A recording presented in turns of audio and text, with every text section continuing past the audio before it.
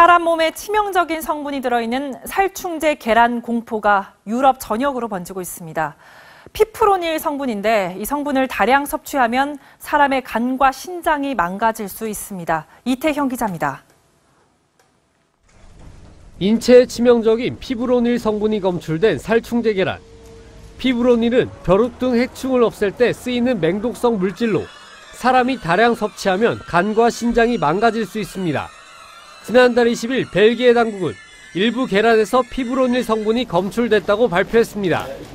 이후 네덜란드와 독일에서도 계란에서 살충제 성분이 검출되면서 벨기에와 네덜란드 계란을 수입한 유럽 국가들은 그야말로 비상입니다. 독일 사법당국은 살충제 계란에 대한 수사에 착수했습니다.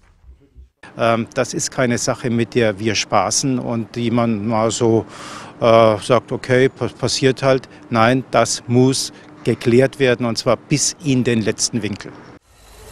벨기에 당국은 살충제 계란 유통 사실을 미리 알았지만 이웃 국가에 알리지 않은 것도 논란을 키우고 있습니다. 한편 국내에도 올 1월부터 스페인산 계란 100만 개가 수입된 것으로 알려졌지만 살충제 성분은 검출되지 않았습니다. TV조선 이태영입니다.